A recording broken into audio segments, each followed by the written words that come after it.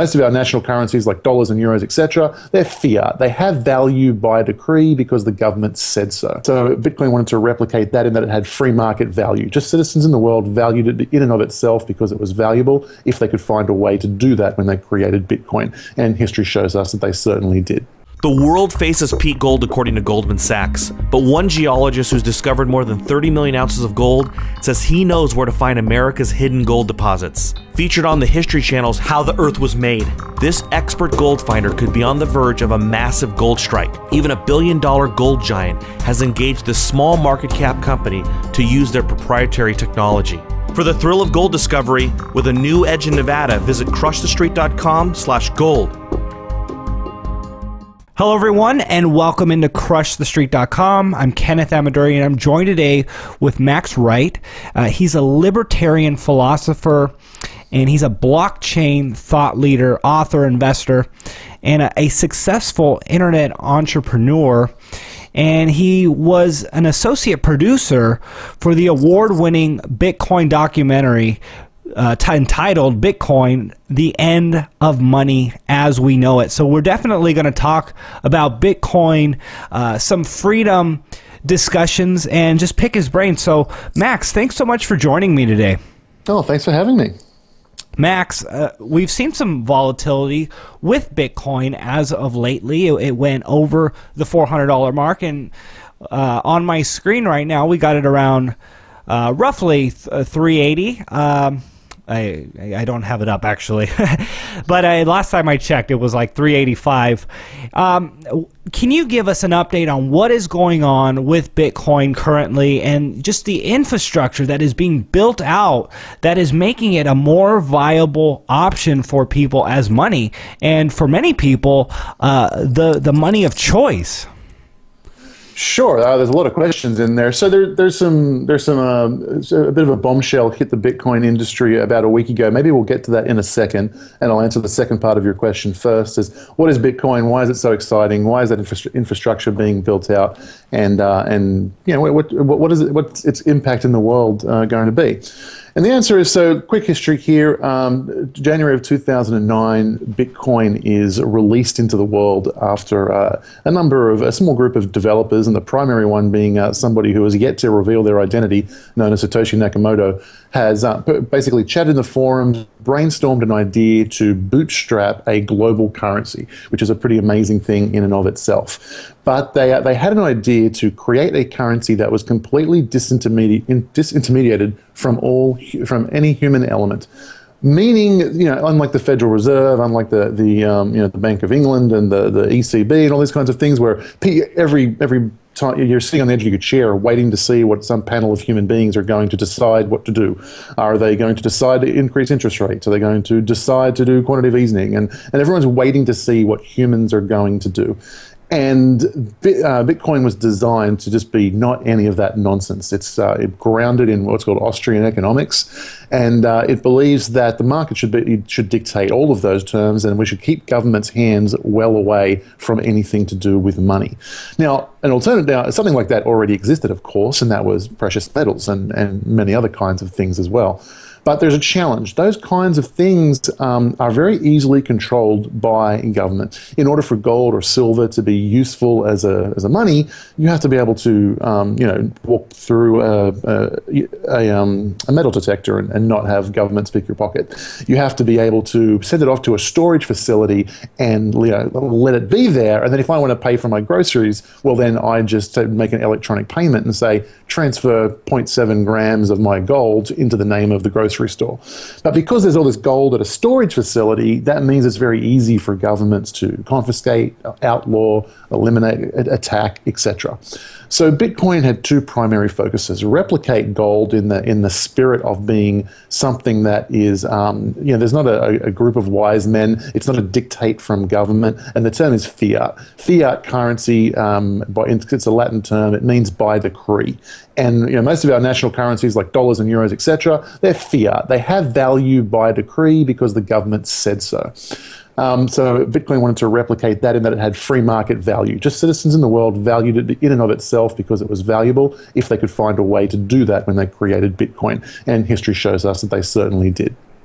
The second thing it needed to do was it needed to be censorship resistant. Unlike gold and silver, where men with guns can come and confiscate the inventory from the um, from the vaults, they needed something where men with guns were impotent towards uh, crippling it, destroying it, etc.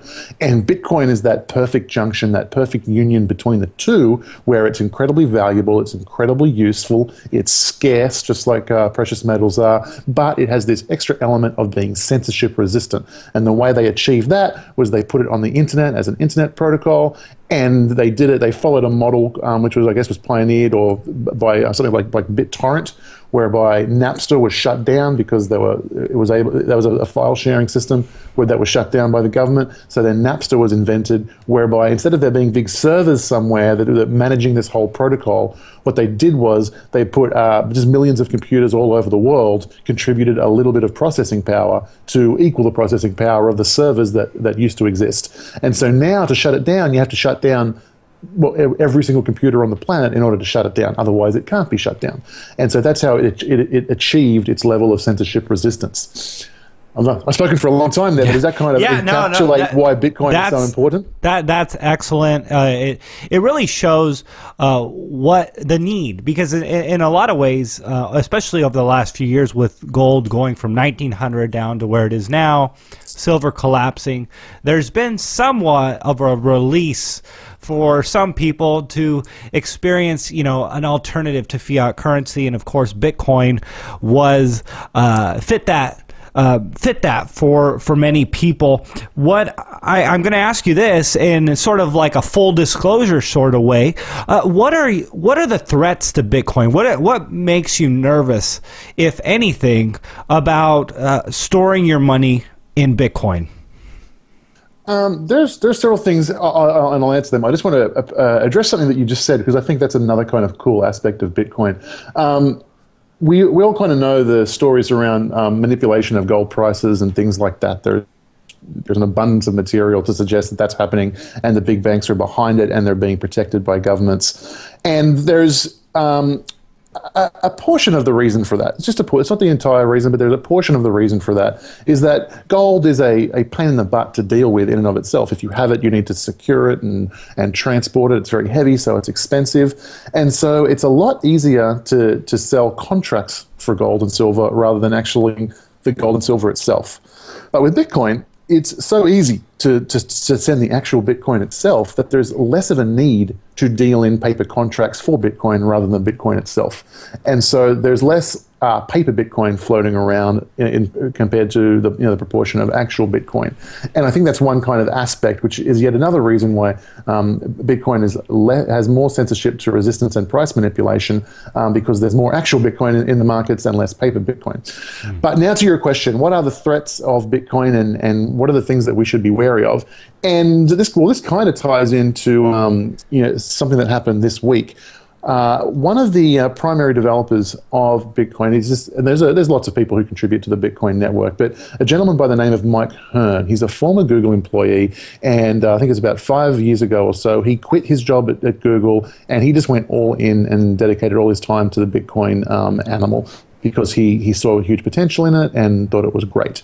He recently came out and said, I'm walking away from the project. I think there's too many threats there. And uh, it's basically, I see that there's having fundamental flaws that um, are going to be the, the end of Bitcoin.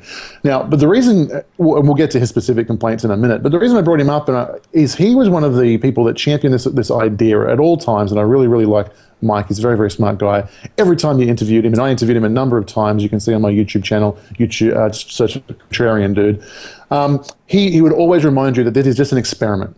Bitcoin is an experiment. It doesn't have thousands of years of history of mon- as being money like gold and silver does. Bitcoin is an experiment. We release it to the world. There's, it's going to have huge growing pains. If it does turn into a global currency, there are lots of things that have to change about it because in its current form, it won't be able to support the number of transactions needed. It won't be able to support hundreds of millions or billions of people in an ecosystem uh, transferring uh, money every single day. And so, in order for it to get to where it needs to be, there are a lot of things that need to change and there's you know untested mechanisms by which the community comes to consensus. Uh, so th- by that I mean Bitcoin is very much the people's money. It is owned and controlled by the community. There is no there is no Fed. There is no committee of wise people who have ultimate power. It is a, it's a free market thing where lots of people, um, by their actions and by what they buy and by what they sell, that is what controls um, some of the things with regards to, to Bitcoin. And the community needs to accept Bitcoin and accept changes and proposals within Bitcoin, and they do that by voting with their dollars. So um, and voting, and voting with their Bitcoin and voting with their mining power. And so these kinds of things, as Bitcoin, we know that Bitcoin needs to change. Between now and 20 years from now, Bitcoin absolutely needs to change. It's changed a hell of a lot already. In fact, I think there's only about one third of the original Bitcoin code that was released seven years ago there's only one third of the original code left. Two thirds of that code has been updated and changed and whatever else. So we know Bitcoin changes. We know it has a consensus me- mechanism. We know there's a way by which the community votes and champions changes to improve the protocol. But it's you know it's a relatively small experiment.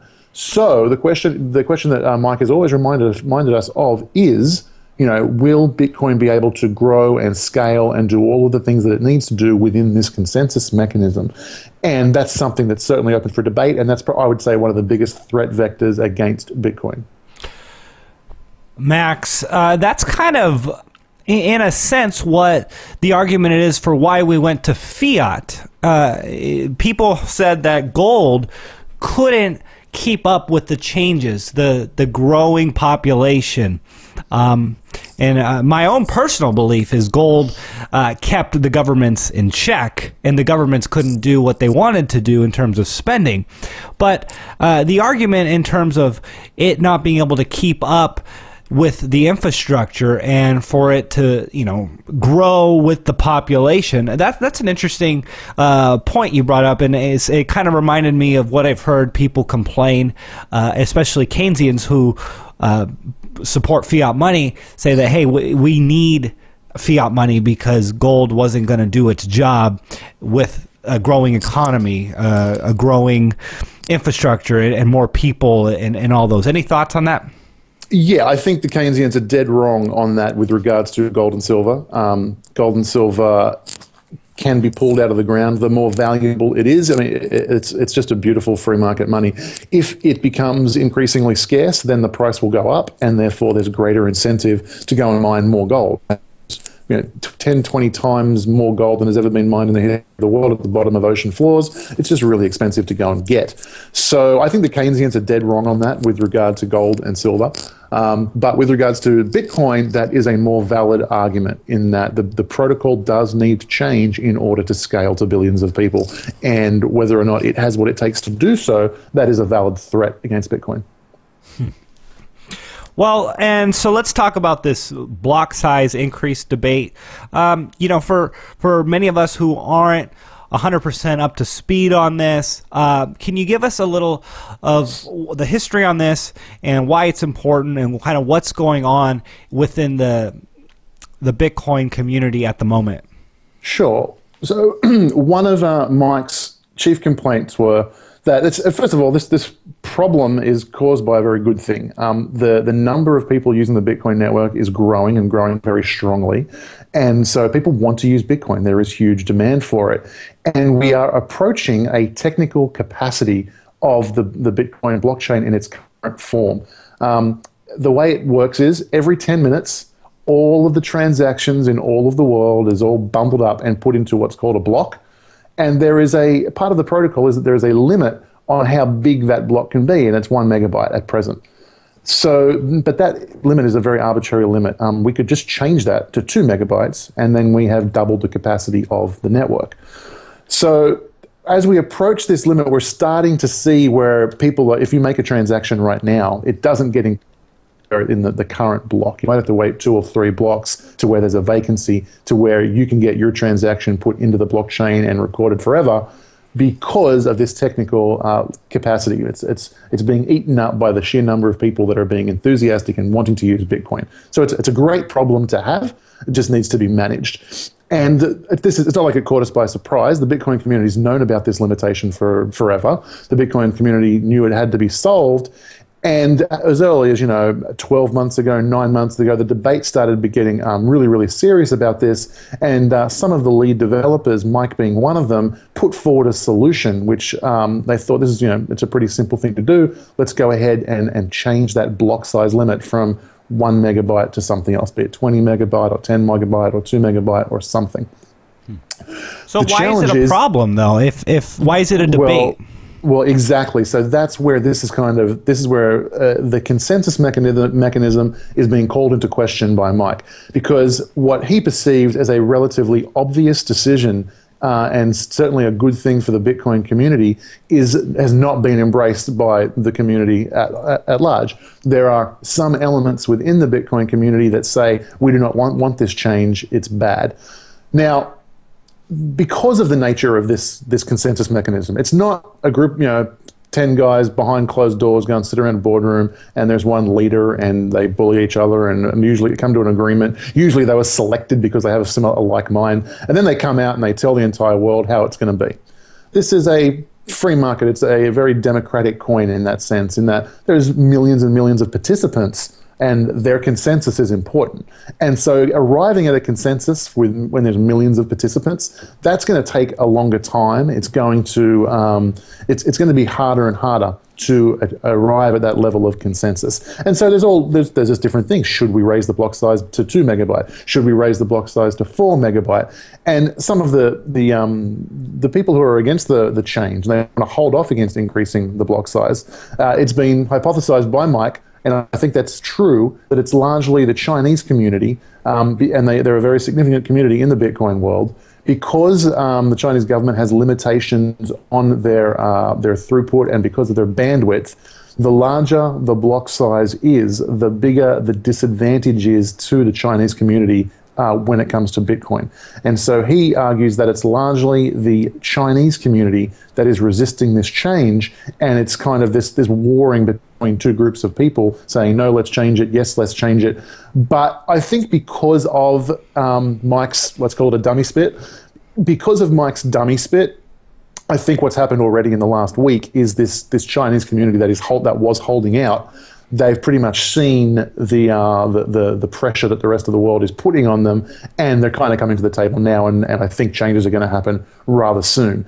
Now, it can be argued one of two ways. It can be argued that, well, this was a failure of the consensus mechanism, as Mike said, and uh, it's, it's highlighted a failure of the consensus mechanism, and what, someone's going to have to spit the dummy and throw a tantrum and leave Bitcoin, and the price is going to have to plummet 20% every time you want to make a change or the the corollary is you can say, well, that's actually the market working really well. The uh, you know the arguments were debated. You know the the the, pers- the, the group of people who wanted to make a, a certain change had to put pressure on the cha- people who didn't want to make a change.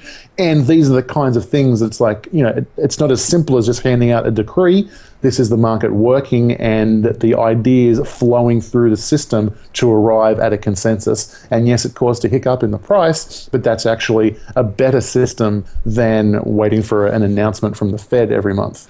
So, I, I you know, that's kind of where I was going to take it next. And it's this, again, it's my lack of understanding of the technicals in Bitcoin. But the problem with fiat money is that it's controlled and the fact that bitcoin can be changed and and people have this control over it isn't that a, a, negative of Bitcoin. And I guess because I thought that Bitcoin was something that's kind of out there and it, it, can't be touched, it can't be changed. It, it's it's set in the motion, and even the creator can't like go in and reverse it. Um, and that that was kind of my understanding of Bitcoin and why it was uh, worth something. Because obviously, gold you can't just like erase gold, but is is can Bitcoin be taken to a point where it can be erased in a sense uh, due to bad management of the consensus? I, it can't be erased. What it can be is abandoned.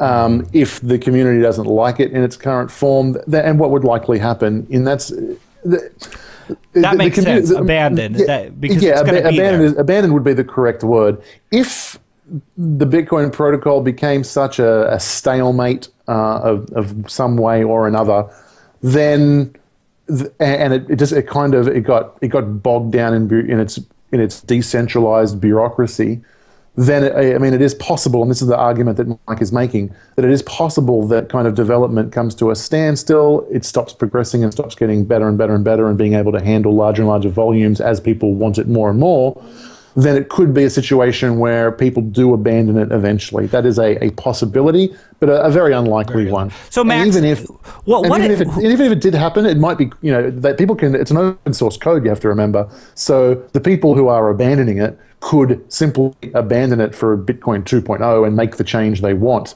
So it's being being abandoned fully is pretty unlikely. So who has the keys to the changes? I mean, you talked about it being millions of people. It's a consensus, but exactly where where is that connection to who can change uh, Bitcoin? Okay, so there's a there's a few components here. So being an open source project, the the, the project is stored at and uh, there are, I believe, four programmers who have um, write access to that. And so they've been kind of entrusted by the community with that. But that's not really where the power is because, again, that project can be copy and pasted to another GitHub repository and different people can, can manage it. The real um, power, I would argue, comes with the, the miners.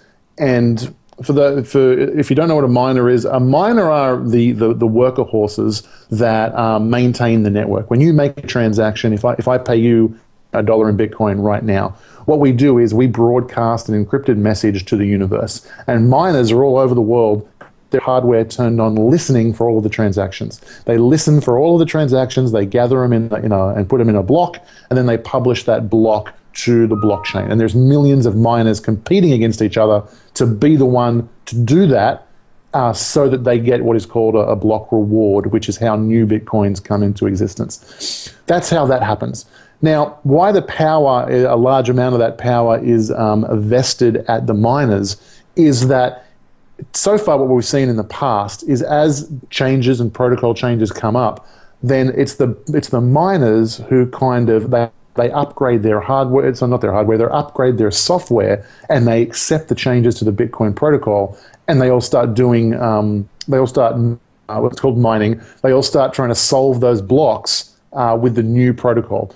If and here's where the consensus works. Now, now, anybody can be a miner. All you need to do is go and buy. You can turn your computer on, although that would be very costly and not very good. Yeah, there's now specialized equipment which does it. Anyone can go and buy a, a mining rig for thousand dollars, two dollars and you plug it into your wall at home and you start mining. And you you are now it's just you are now one of the people out there contributing to the protocol and mining uh, and keeping the bitcoin network safe and prosperous and whatever else. So it's very open. Anybody can do it who chooses to go and buy the hardware to do it.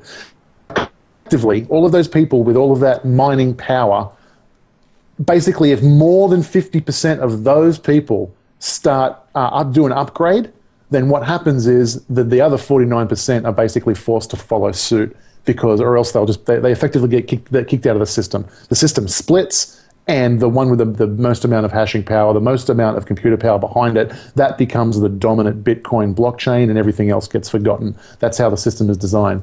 So up until now, we've seen how the vast majority of people, um, when, when there's a change, it happens very smoothly. There's a huge announcement. Everyone knows it's for the benefit, benefit of uh, Bitcoin, and they just go ahead and do the upgrades.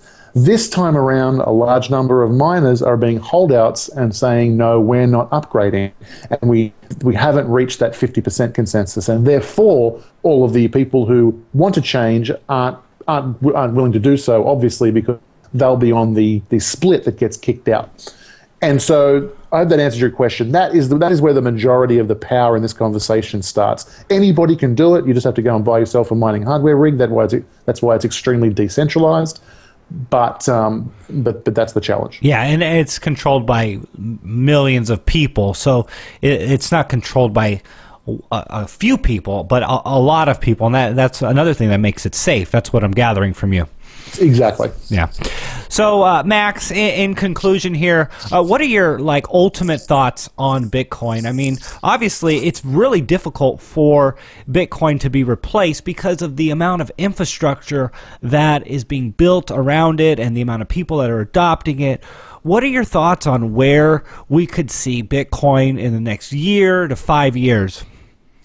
Yeah, well, I mean, if, uh, if I knew the answer to that one, I'd be a rich man. Oh, I, I know it's tough. I'm just curious. I mean, are you bullish on it? Is it something that you think is going to continue to grow, or could something else come and and just replace it? Like you like you said, Bitcoin 2.0. Are you, are you confident in Bitcoin?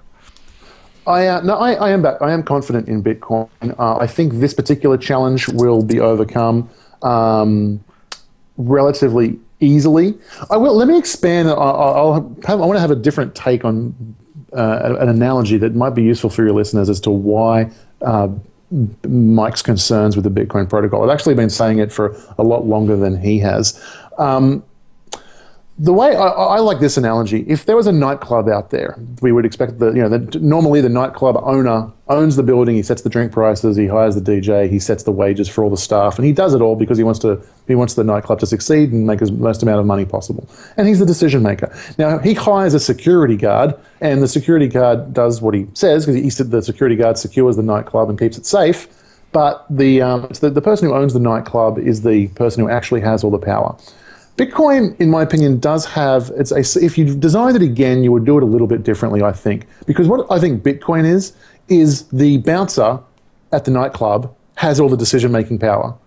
So hmm. the analogy for this is that the miners are the security for the network, and they hold the the power. Now, usually, 99 times out of 100, the bouncers also want you know the, the, the nightclub to prosper. They want you know people lining up down the street trying to get in so they get the most amount of tips. So they want the nightclub to be as popular as possible. So nine times out of ten, the decisions the bouncer will make and the decisions that the guy who owns the nightclub make, if they have the same skill set, are going to be the same thing. But every now and again, a decision is going to come up whereby the miners, um, out of uh, self-interest, they and one of those things obviously is what should the bouncers be paid.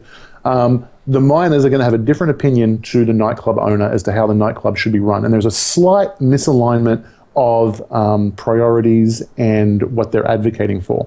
And I think this is one of those situations whereby the, the problem is is that the the miners shouldn't really be who decide whether or not the protocol should change. It should be one Bitcoin, one vote, or more accurately, one Satoshi, one vote. And the people who actually own Bitcoin should decide on the future of Bitcoin. That's how I think it, with the benefit of hindsight and the benefit of the Bitcoin experiment, I think that's what should have happened and what should have been done. And that's not what happened. So I just want to put that out there that I think that there's a valid concern and room for improvement there on the Bitcoin protocol. Back to your question, what do I think of Bitcoin? I am excited about Bitcoin. In fact, there's an event happening uh, this year in June, which I think is going to be really, really significant. Um, it's called the, the Bitcoin um, block, sorry, the, the block reward halving. What that means is the way it's something written into Bitcoin, something that cannot be changed, is that every four years, the number of Bitcoins that are released into the wild uh, cuts down by half. So for the first four years, every 10 minutes, 50 new Bitcoins came into existence and, and entered the world. And then that halved. And then, uh, so then 25 Bitcoins came into the world every 10 minutes. And that second four year period um, ends on, in, on around in, sometime in June, if my memory serves, of this year. And what that basically is, that's the rate of inflation. Now, it's not, it's not organized by you know, men in um, suits that decide every week. It was written and in the open source software and cast in stone six years, seven years ago, right? So we all know what the rate of inflation. We all know that the rate of inflation is going to be cut in half every four years. So everybody knows what's going on. Market participants are all equal. But nonetheless, right now, if the prices, let's say, stay stays stable at around about four hundred dollars, what that means is that the number, the amount of new interest pouring into Bitcoin every single day is equal to the amount that the that Bitcoin um, is being inflated, the amount that the supply of Bitcoin is going up. As, a, as a loose principle, that is accurate. And what's going to happen in sort of six months' time is that that um, the the rate of inflation is going to be chopped in half. And so I think what you're going to find is that later on this year, you're going to see Bitcoin see all time uh, new all time highs as the the demand pressure just starts to eclipse the supply pressure, and we're going to see um, Bitcoin go to a whole new level, which I think is going to really wake up the whole world because Bitcoin's price which for the vast majority of people is its most interesting component, it's kind of been slipping and being boring for the last two years, and it's about to go, I think it's about to go ballistic. Now, the counter argument to that is because everybody knows this has been been um, this is the case. Everybody knows this is going to happen as of seven years ago. It's already priced into the market. And that's certainly a valid argument. And I think uh, a lot of people, certainly a lot of people, have priced it into the market. But I also think there's a lot of people who have not and don't understand the ramifications of that. And that's why I think I'm, I'm really bullish on Bitcoin over the next 12 months. Well, the last time reach- it halved, it, it made a big move as well. huge move. I'll give you a little history of that so you understand the timeline. The ha- the last halving occurred, uh, I think, in November, late November 2012. The price was about eleven dollars. Uh, by April of the next year, so just five months later, the price went from 11 to 266 dollars, and then crashed back down to 100 and sort of lingered at 100 for six months. So I think there'll be a similar, you know, the, the, the, the what what my kind of argument from that is is that the price went from ten dollars to a hundred, and because it happened so quickly, and greed and fear and markets and doing everything they do, people got all excited. There was a there was a bubble, and the bubble popped. So the real move was from ten dollars to hundred dollars. Because of the bubble, it was from ten dollars to two hundred sixty-six dollars down to hundred dollars, and I think we'll see something similar. Um, some kind of huge bubble, huge euphoria. The media will get involved. All of a sudden, it'll be in the news again. All these people who heard Bitcoin once or twice but never took any action are like, "Oh my God, I missed the first bubble. I missed the second bubble. I missed the third bubble. I'm not going to miss this bubble." And they're going to get involved in the in the fourth bubble, and they're going to generate another bubble, and it will have another crash, and that crash will be higher its current all-time high. Um, and I, that, that's how I kind of think it will play out. I, you know, and I I know I said this was going to be the end, but uh, Bitcoin went from the hundred dollar range up into the four hundred dollar range, and uh, w- just recently, not in the last few months. Why? Uh, what What are your thoughts on why that happened? Was there something sig- significant that happened in that time? I'm not sure. No, th- there was nothing major. Um, I would. It's certainly possible that it's a it's already, it's a little bit of pre-running from this uh, concept of the blockchain, uh, the block reward halving already, and I, I do expect there to be some front running on that. So it's a possibility. It was that there was. Um, I think there was some there was a lot of, there was some tools coming out. We saw a lot of volume come through from China and Russia um, over different periods there, and so all these things just happen. New technology comes out, new tools come out, governments change laws, new things happen. There's a greater threat to the economy. People, I think election years are quite. There's a lot of fear mongering around election years, and so uh, I think you're going to see. It's another reason why I'm really bullish of Bitcoin. Thanks to this election year, there's going to be people talking about how bad the economy is. How you, whatever you do, don't vote for that guy, vote for me. And people are going to start saying, oh, you know, the, the, the, it's going to be re-emphasized that just how perilous our current banking system is and our current economy, and uh, finding out about a solution outside of that is going to be advantageous. So all of those kind of things kind of play into the mix, and I don't think it was any one thing in particular this time around. It was just kind of a few different things around the world happening, which which um, sort of raised the price a bit. Max, I, I really do appreciate you coming on uh, the show and, and chatting Bitcoin with our audience here. If people want to learn more about you and reach out to you, uh, where would they go and what would they find? Uh, yeah, so I'm known on Twitter and uh, YouTube as Contrarian Dude. Uh, so you can find me at Twitter at Contrarian Dude, and uh, just search for Contrarian Dude in YouTube. You will find me quick smart. Max Wright, everyone. Max, thanks for coming on the show with me today. I really appreciate it. Thank you.